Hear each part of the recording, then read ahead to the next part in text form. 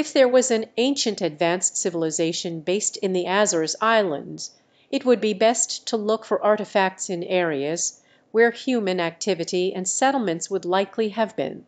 Some possible locations to search for artefacts could be near coastlines or on higher ground where communities might have thrived, and also within caves or rock shelters that could have provided shelter.